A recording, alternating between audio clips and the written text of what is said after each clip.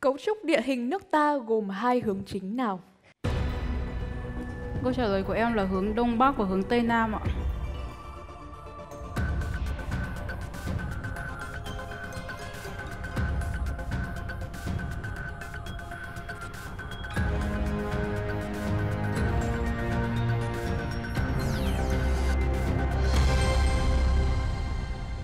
Xin mời những câu trả lời khác ạ. Xin mời Gia Huy ạ. Thưa, thưa chị, câu trả lời của em là hướng Tây Bắc và hướng Đông Nam. Rất tiếc là hai bạn chưa đưa ra một câu trả lời chính xác. Đáp án đúng chính xác là hướng Tây Bắc Đông Nam và chúng ta còn có thêm một hướng nữa, đó là hướng vòng cung. Bây giờ thì Đan Linh sẽ còn một câu hỏi có giá trị 20 điểm nữa. Bạn có muốn thử sức với ngôi sao hy vọng không? Câu trả lời của em là không ạ. Chúc bạn thành công. Bạn hãy trả lời câu hỏi sau bằng tiếng Anh. Hello, my name is Catherine and I'm from Apollo English. There are 1,000 students taking an entrance exam to get into this university. However, the enrollment quota is only 100. So, how many students will you have to beat to get into the university? Good luck! Um, 900 900 students.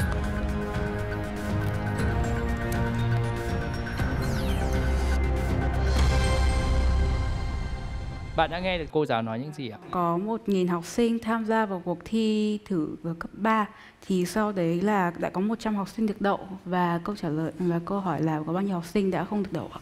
Có 1.000 sinh viên tham gia vào cuộc thi đầu vào để vào đại học và chỉ tiêu lấy của trường chỉ có 100 người. Câu hỏi là bạn phải vượt qua bao nhiêu thí sinh để có thể được vào trường đại học đó và đáp án chính xác là 900.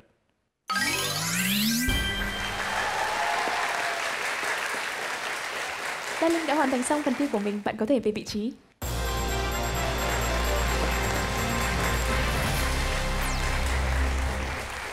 Người tiếp theo sẽ tham gia phần thi về đích là người đang nắm giữ 160 điểm. Quang Huy có định đội thêm trước uh, Vương Miện để về đích không ạ? Dạ đương nhiên là em sẽ đội nó thôi ạ. Để có thêm động lực đúng không? Dạ đúng rồi Hãy ạ. làm những gì khiến bạn thấy, thấy thoải mái. Xin mời Quang Huy.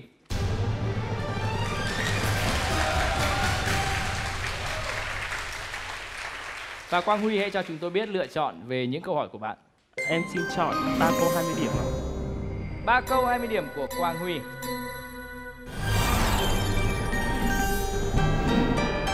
Câu hỏi đầu tiên có giá trị 20 điểm. Theo quy định ở nước ta, danh hiệu nhà giáo nhân dân được xét tặng 3 năm một lần và trao tặng vào ngày nào trong năm? Câu trả lời của em là ngày 20 tháng 11 ạ.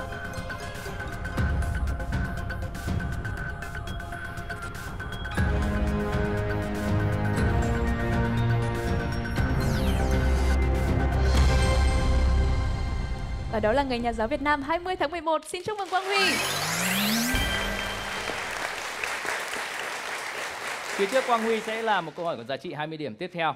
Bạn có lựa chọn ngôi sao hy vọng không? Em không lựa chọn ngôi sao hy vọng ạ. Vâng, câu hỏi của Quang Huy như sau. Vị trí của địa phương nào ngày nay từng được miêu tả trong một văn bản cổ là Thế đất cao mà sáng sủa, dân cư không khổ, thấp trũng tối tăm.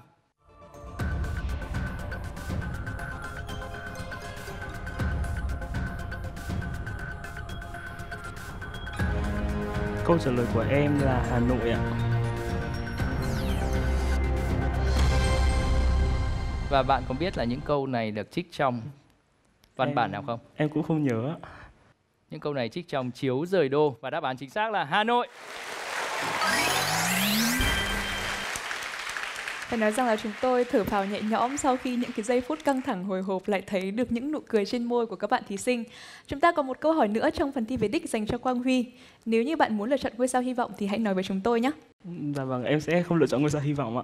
Bởi vì chúng ta đã có vương miện hy vọng rồi đúng không ạ? Dạ đúng rồi ạ. Xin chúc bạn thành công với câu hỏi cuối cùng này. Trong dãy số sau 1, 1, 2, 3, 4, 5, 8, 13, 21, nếu xóa bỏ một số hạng thì dãy còn lại là một dãy số có quy luật nổi tiếng, tìm số hạng đó. Câu trả lời của em là số 4 ạ.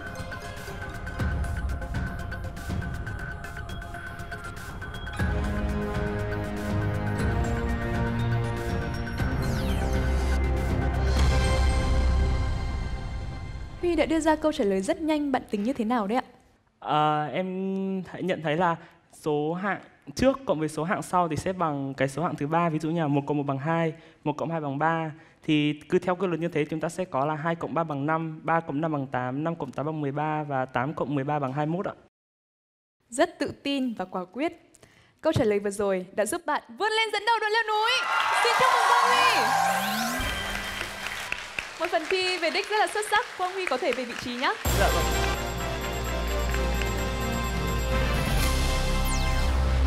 Đang sở hữu số điểm 135 người tiếp theo đến với phần thi về đích đó chính là Gia Huy. Xin mời.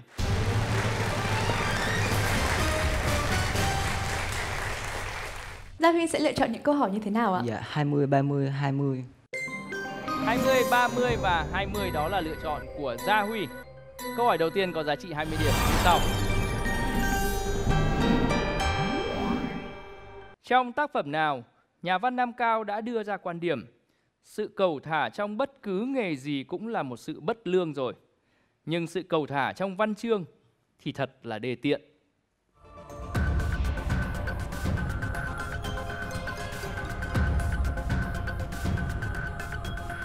Đời thường.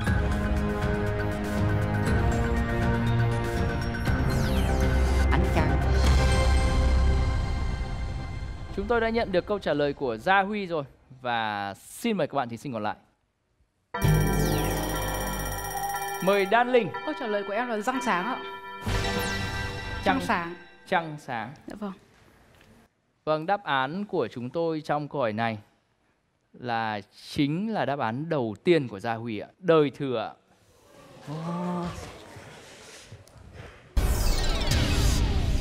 Khá đáng tiếc nhưng chúng ta vẫn còn hai câu hỏi nữa và có thể là một ngôi sao hy vọng. Dạ không em không chọn.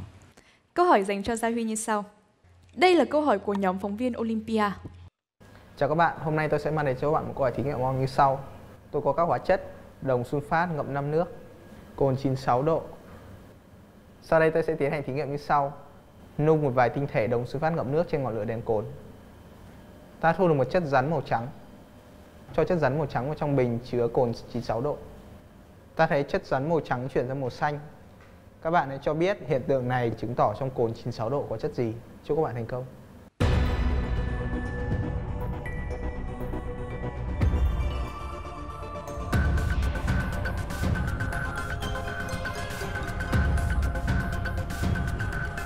Có nước.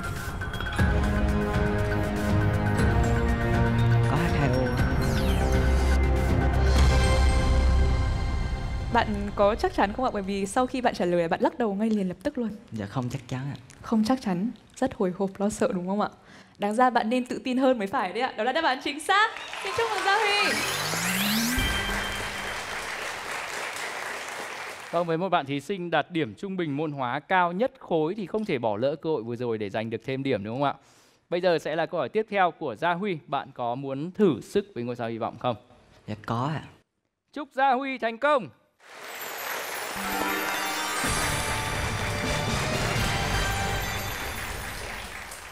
Theo Trung tâm Dự báo Khí tượng Thủy văn Quốc gia, nếu vị trí tâm bão cách điểm gần nhất thuộc bờ biển đất liền Việt Nam từ 300 km đến 500 km và có khả năng di chuyển về phía đất liền Việt Nam trong 48 giờ tới, thì bản tin dự báo cơn bão đó được xếp là tin bão gần Biển Đông, tin bão trên Biển Đông, tin bão gần bờ hay tin bão khẩn cấp.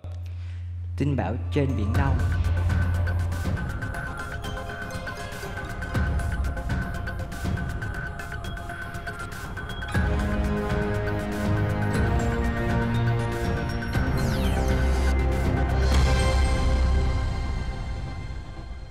Cơ hội của các bạn thí sinh còn lại.